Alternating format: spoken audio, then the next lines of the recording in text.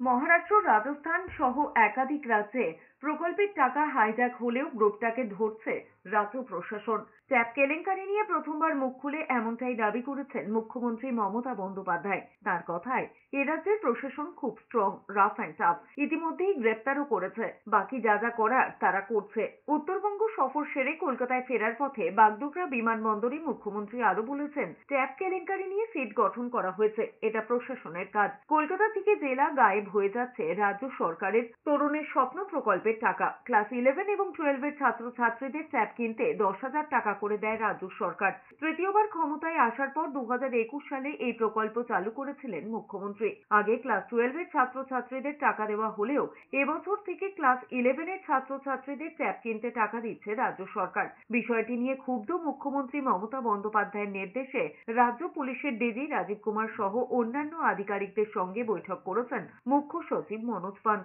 মুখ্যমন্ত্রী মমতা বন্দ্যোপাধ্যায় জানিয়েছেন, ট্যাবের টাকা যারা পায়নি, তাদের সবাইকে টাকা দিয়ে দেওয়া হচ্ছে। তার দাবি, অন্য রাজ্যে হলেও পশ্চিমবঙ্গই প্রতারকদের ধরতে পেরেছে।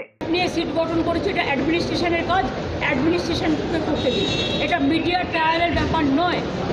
এর মধ্যে মহারাষ্ট্র, মহারাষ্ট্রেরও অনেক পূজা ওরা হাইজ্যাক করেছে। অন্যান্য রাজস্থানেরও করেছে।